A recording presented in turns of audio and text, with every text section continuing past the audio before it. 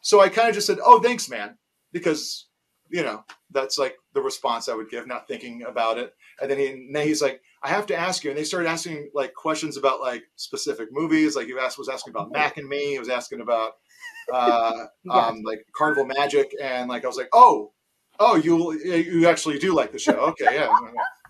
Oh, and um, I think we may be all in agreement here that Weird Al would totally be what a Hufflepuff, like Yes. right? Like yeah, yeah, yeah, He would have to be.